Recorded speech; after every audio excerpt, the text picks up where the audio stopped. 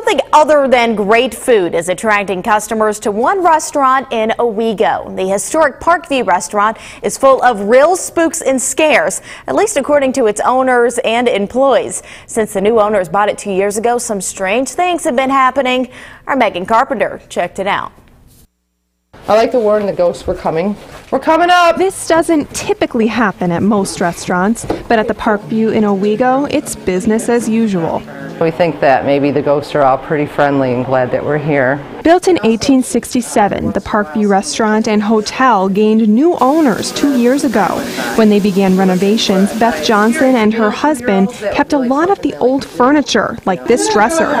You guys have an object it could have a uh, spirit connected to it. Things that might have stirred up some old visitors. We started calling the head Dugan. He was one of the past owners.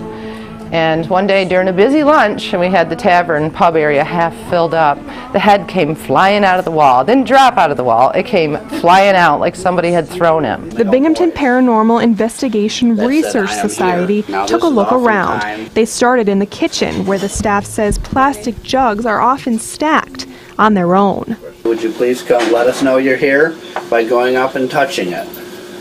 Now, if that goes off right now, we know that a spirit has touched it. Spooks and scares were minimal, they said, but the third floor was a little eerie and cold, a telltale sign. Some of the things we uh, may be being followed a little bit upstairs.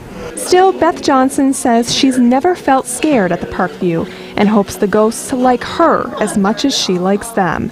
In Owego, Megan Carpenter, WBNG TV Action News. Well, the Parkview restaurant is located at 145 Front Street in Owego.